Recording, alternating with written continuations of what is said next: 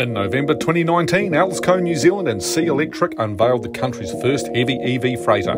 Based on a Hino 500 and fitted with Sea's SEA-Drive 180B powertrain, as it would turn out, you could sum up the vehicle's next two years in three words, steep learning curve.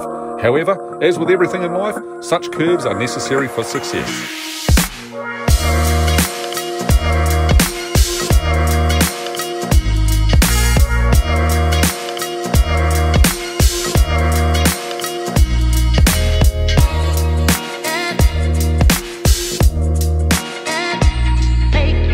It's a situation that the wider automotive world is quickly coming to terms with. Rapid change is taking place as the industry moves towards reducing its use and reliance on fossil fuels.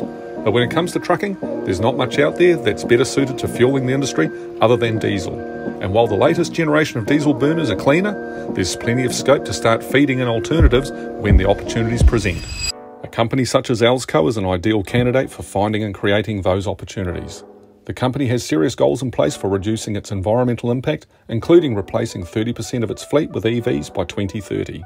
It understands the need to start early, and it was in 2018 where the relationship with Sea was put on the table, and a call was made to find branches that could compile a business case to implement a heavy electric freight truck within the fleet and apply for the partial funding via EECA, the Energy Efficiency and Conservation Authority administered Low Emissions Vehicles Contestable Fund. Alsco New Zealand Fleet Manager and Rotorua Branch Manager Mike Compton figured that he could make an electric freighter work on the regular daily run of Rotorua to Taupo return in the morning and Rotorua to Tauranga return in the afternoon. Mike drove the project from the operational perspective.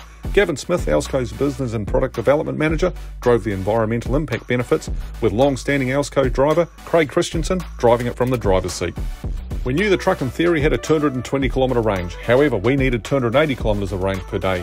We believed we could run it to Taupo, charge it for an hour while we unloaded and reloaded, drive it back to Rotorua, charge it for another two hours while we unloaded and reloaded for Tauranga, head to Tauranga and top it up again, and then while there for an hour or so, charge it up before returning home, Mike explained. That was the initial theory, but as the team would find out, it would take some compromise to make it work in practice.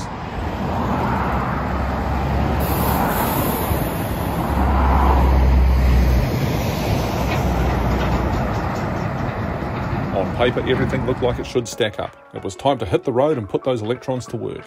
However, Craig and Mike soon realised their expectations would require more compromise than expected. Two main issues needed to be overcome charging and overheating. Unfortunately, we never got the charge rate that was expected, so we had to look at infrastructure. And although range was quoted at 220 kilometres, usable range was about 190 kilometres, at which point the truck derates itself to protect the battery, said Mike. Alsco was, and fair to say still is, very much a guinea pig as far as running a full size electric truck in New Zealand is concerned. More than two years later, this remains the biggest heavy EV on local roads in terms of both dimension and range. As such, it is fitted with the SEA-Drive 180B powertrain, designed for trucks with a GVM range of 18 tonne to 26 tonne.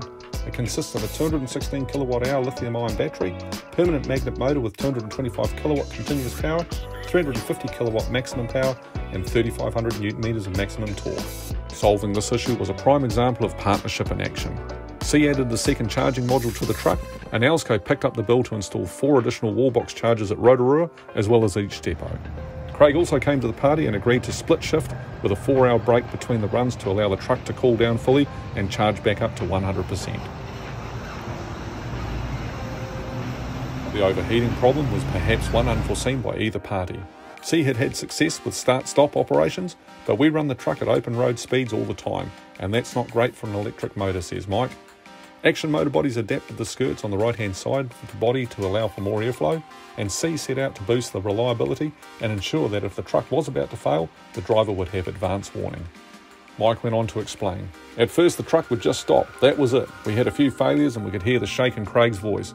And as a responsible company, we said that cannot happen. The truck cannot just shut down.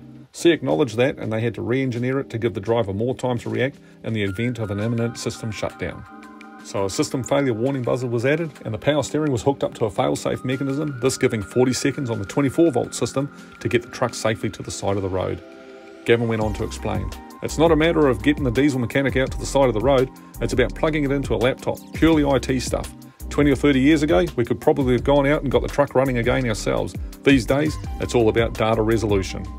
We were sort of at prototype level at the time of introduction, and knowing that, we sought the support of the EECA LEVCF. As early adopters, we knew there would be hiccups along the way, and today we still call it a trial, Mike said. With a touch over 66,000 kilometres of solid trial and error behind it now, this truck is still very much a test bed for both Alsco and SEA Electric.